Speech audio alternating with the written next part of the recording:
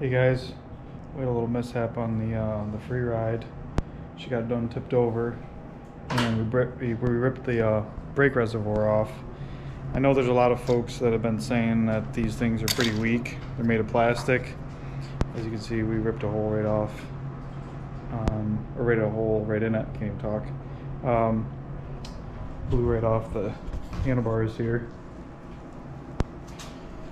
So, this video, just gonna show you how to throw that back on and uh, bleed the brakes.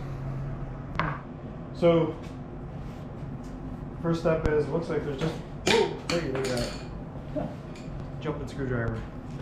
So, looks like there's just one screw that's holding this reservoir on. It snapped off, so we're gonna pop that out of there.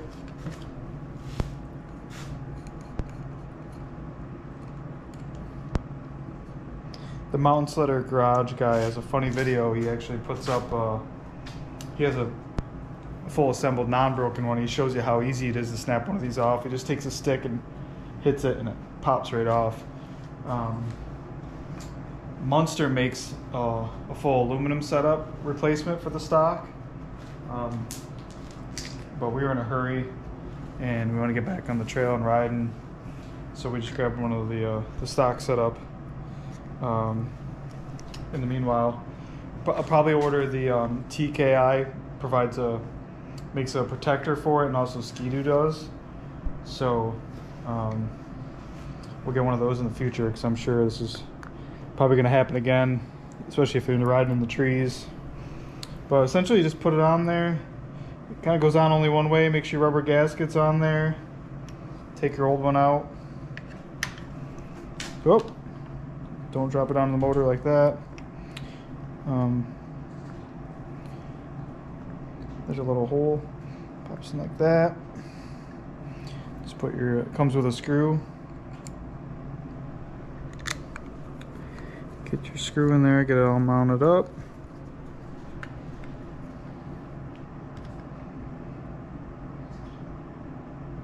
Like so.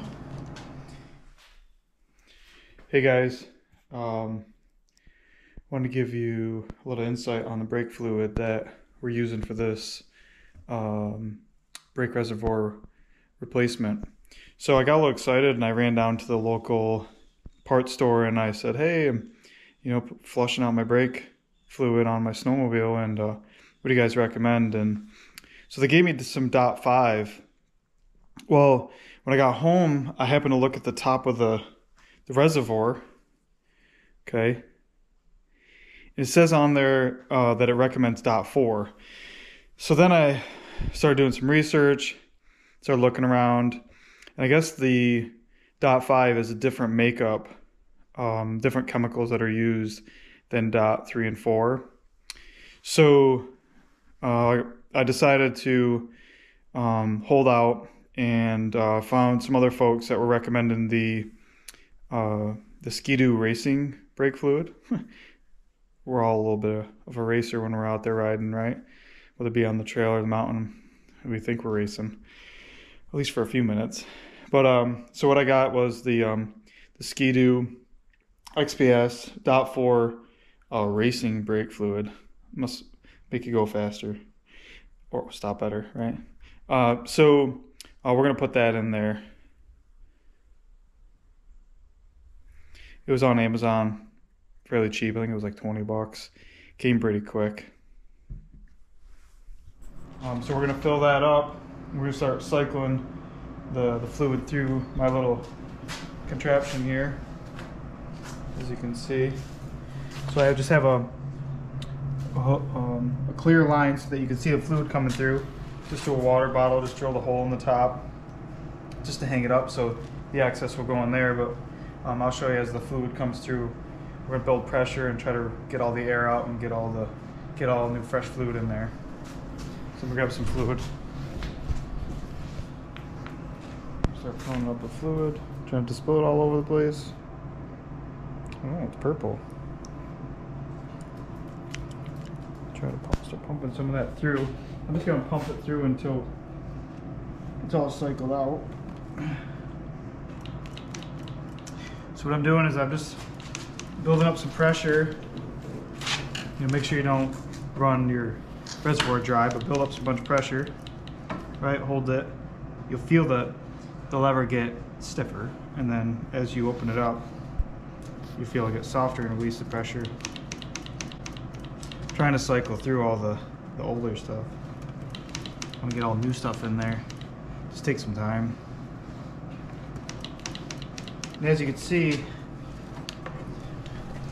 can see some of the air bubbles in there, like right here. I don't know if you can see it in the camera, but you'll see the air bubbles coming through. That's why we got this hose hooked up there. You can see a lot of air bubbles in there.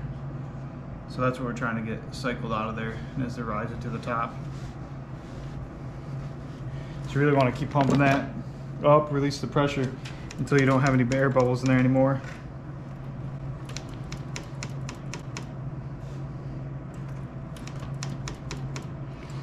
And as you feel, feel it get harder and harder each time. So like now when I pump it up three, four times, got a nice stiff lever and then open it up. Especially when you're riding off trail, brakes are important. Use that brake a ton. Use throttle and brake to get the sled off. Um, get on its side.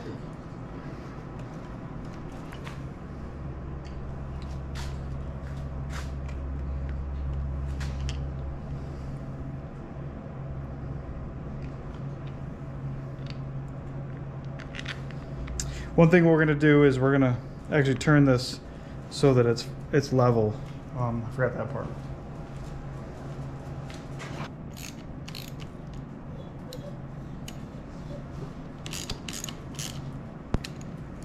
So I just uh, up the brake perch here and made it level so that way we can make sure that our fluid line looks good and get the, the most amount of fluid in there in the brake reservoir. Looks pretty good. Maybe add a whisker more, just a touch. That uh, brake fluid can be nasty. So we're gonna put this like this, just in case.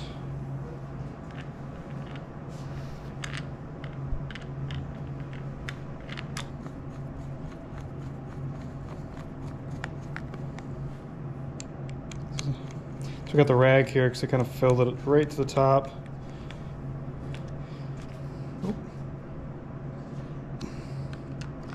And we are going to wipe it down good. Again, try to make sure you don't get on your belt or anything like that. It's no good. Grips. And we'll give it one more squish on the, the lever. Good, one good pump.